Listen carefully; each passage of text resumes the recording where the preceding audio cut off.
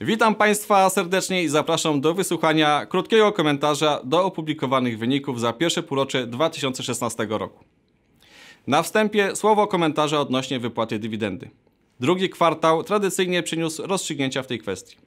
Walne zgromadzenie na wniosek naszego akcjonariusza większościowego zatwierdziło wypłatę w wysokości 25 groszy na akcję. Ta ostrożność w podziale zysku za 2015 rok z pewnością ułatwi nam realizację zaplanowanego programu inwestycyjnego.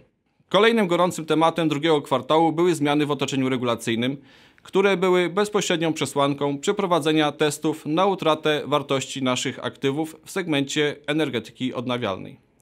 Odpis aktualizujący wartość naszych aktywów wiatrowych wyniósł około 800 milionów złotych.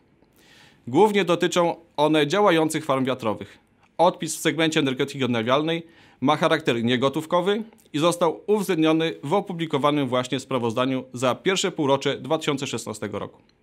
Czekamy na ostateczne ustalenia dotyczące kształtu rynku mocy w Polsce i z uwagą przyglądamy się zaproponowanemu rozwiązaniu.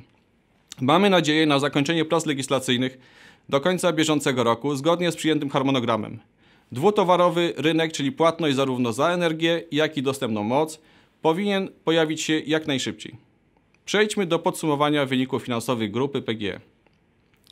Skonsolidowany wynik EBITDA za pierwsze półrocze 2016 roku wyniósł ponad 3 miliardy 100 milionów złotych. Największy udział miał segment energetyki konwencjonalnej, który wygenerował ponad 1 miliard 600 milionów złotych. Segment dystrybucji zakończył pierwsze półrocze z wynikiem przekraczającym 1 miliard 100 milionów złotych.